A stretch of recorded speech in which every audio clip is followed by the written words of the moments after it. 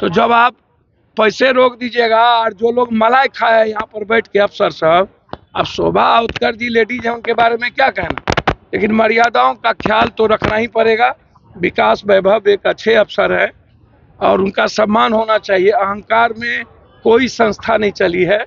नमस्कार, आप देख रहे न्यूज़ फॉर नेशन और मैं स्वाति पांडे आपके साथ। बिहार में बयानवीर मंत्रियों के बाद अब गालीबाज अफसर सुर्खियों का मुद्दा बने हुए हैं। दरअसल पहले के के पाठक और अब डीजी शोभा अहोटकर आपको बताएँ कि आईजी विकास वैभव और डीजी शोभा अहोटकर के बीच बवाल मचा हुआ है। बीते दिनों तेईस बिहार के तेईस तरार आईपीएस अधिकारी विकास वैभव ने एक ट्वीट किया, जिस ट्वीट में उनका दर्द झलक पड़ा है। इसमें आपको बताया जाप सुप्रीमो पप्पू यादव की प्रतिक्रिया सामने आई है, जिसमें उन्होंने कहा है कि भले कोई भी अधिकारी क्यों ना हो, भले कोई भी हवलदार ही क्यों ना हो, सबका सम्मान होना चाहिए, सबके लिए अच्छे भाषा का प्रयोग करना चाहिए। और शोभा अहोटकर तो महिला हैं, उनके लिए हम क्या ही बोले, लेकिन उन्हें ऐसे अमर्यादित भाषा का प्रयोग नहीं करना चाहिए था। अगर उन्होंने ऐसा किया है तो बिहार सरकार को उनके खिलाफ एक्शन लेनी चाहिए। तो देखिए, पहले नीतीश कुमार के एमएलए डॉक्टर संजीव कुमार ने अपनी प्रतिक्रिया दी थी और अब जाप सुप्रीमो पप्पू यादव ने अपनी प्रतिक्रिया दी है। दरअसल, जाप सुप्रीमो पप्पू यादव आज पटना आए हुए हैं। पटना एयरपोर्ट पर जब वो मीडिया कर्मियों से मुखातिब होते हैं और आईपीएस विकास वैभव के मुद्दे पर उनसे सवाल पूछा जाता है तो वो कहते हैं कि सारे अफसरों को सम सम्मान मिलना चाहिए सारे अधिकारियों को सम्मान मिलना चाहिए ऐसे कोई संस्थान नहीं चलती। अगर कोई अफसर को ऐसे अमर्यादित टिप्पणी कोई देता है अगर आ, किसी अफसर को ऐसे बेइज्जत किया जाता है तो ऐसे कोई भी संस्थान नहीं चल पाएगा। आ, उन्होंने कहा कि बिहार सरकार को डीजी शोभा अहोटकर के ऊपर एक्शन लेना होगा। क्या कुछ कह रहे हैं? पप्पू यादव किस प्रकार अपनी प्रतिक्रिया ज़ाहिर कर रहे हैं? आपको छोड़े जाते हैं उनकी पूरी बात। बीस बीस तीस तीस चालीस साल से बैठा के रखिएगा दस ठो सबसे ज़्यादा काबिल अफसर यही लोग हैं। और काबिल अफसर बिहार में नहीं है। सब भागने के लिए यहाँ से दे दिया है दिल्ली, कि अब नहीं रहेंगे यहाँ।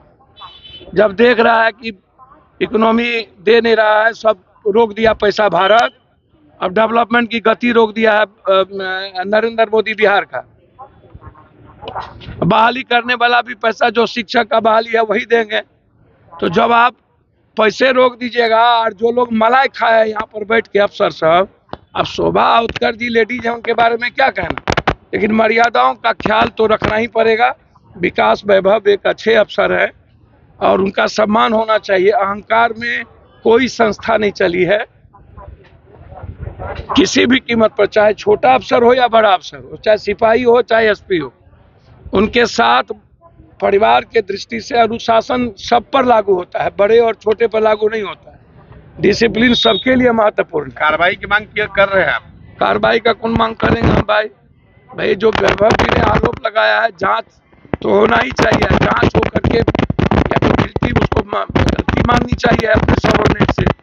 आप सबोर्डिनेट को नीचा करके आप अपमानित करके आप बेहतर सरकार या बेहतर संस्था या बेहतर जिला नहीं चला सकते। सबोर्डिनेट से ही ना काम लेना है आपको। सिपाही से ना काम लीजिएगा। जो काम करे सुई क्या करे तलवार? आप ऊपर से नीचा सबका महत्व है। दशमलव का, कोमा का हैफन का, रेफन का सबका महत्व है। डीजी या मुख्यमंत्री, प्राइम मिनिस्टर अलाउद्दीन के चिराग नहीं ना है, एमएलए भी तो चुन के आते हैं ना। तो एमएलए का भी महत्व है, मुख्यमंत्री का भी महत्व है। तो एमएलए के बगैर रेस्पेक्ट के मुख्यमंत्री अकेले नहीं चल सकते। इसीलिए शोभा उत्कर जी को एक्सक्यूज करना चाहिए। अन्यथा सरकार लगातार जिस तरीके से हो रही है, इससे सरकार की छवि पर पड़ता है।